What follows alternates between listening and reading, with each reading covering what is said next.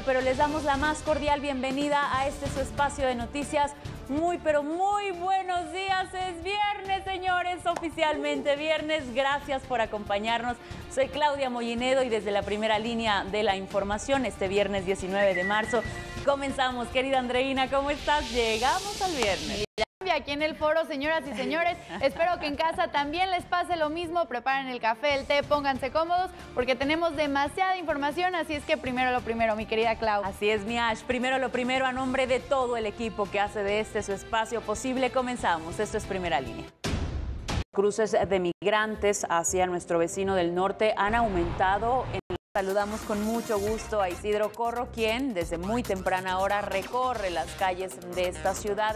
Isidro, es viernes, qué maravilla que sea viernes, pero lastimosamente nos tienes detalles interesantes de algunos de los atletas que ya han sido preseleccionados para los Juegos Olímpicos de Tokio 2021 recibieron la primera dosis de la vacuna contra el COVID-19.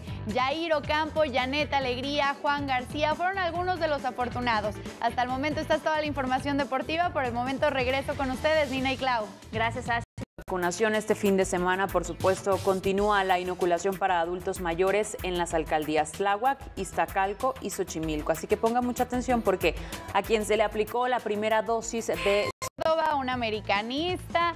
Pero bueno, vamos a repasar las acciones del partido entre México y República Dominicana. Jornada 1 de esta fase de grupos del torneo preolímpico de la CONCACAF, que la verdad empezó con muy buenas sensaciones para el conjunto mexicano, de, que es comandado por Jaime Lozano. Al minuto 18, precisamente este jugador se va y en otro partido también de esta misma competencia, Estados Unidos se enfrentó a Costa Rica.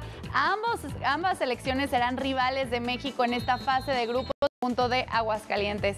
Este fue el panorama del fútbol mexicano, de la selección nacional sub-23, pero más adelante vamos a hablar de la Champions League y del fútbol europeo y, como no, del abierto mexicano de tenis. Por el basurero de Ciudad de Madero en Tamaulipas también es consumido por las llamas. Las fuertes rachas de viento agravan.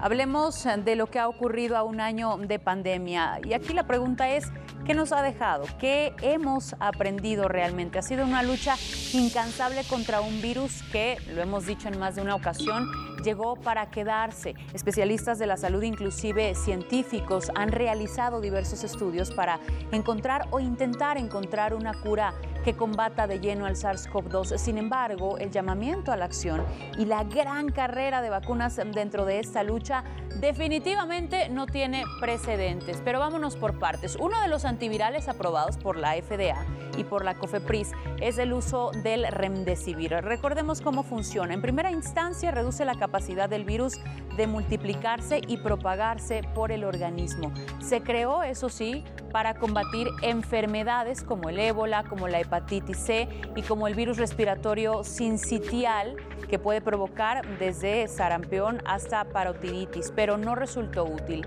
Entonces, llegó la luz al final del túnel. Se hizo presente al reconocer en el suero equino hiperinmune eficacia en el tratamiento contra el COVID-19. Bueno, las cámaras de Azteca Noticias se dieron a la tarea de ir al lugar y desde la primera línea le presentamos lo que encontramos.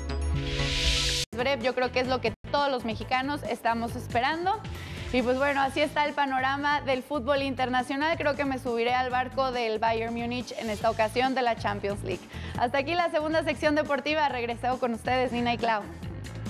Veamos una jugada escalofriante. Sucedió en la Europa League durante el partido. No, todavía al árbitro, porque lo están expulsando. Impresionante lo que sucede en el mundo del fútbol. Hasta aquí nuestra cita en la primera línea de la información. Gracias por su compañía. Que pasen un gran fin de semana. Nos vemos el lunes con más información. Se quedan con Hechos AM. Extraordinario fin de semana.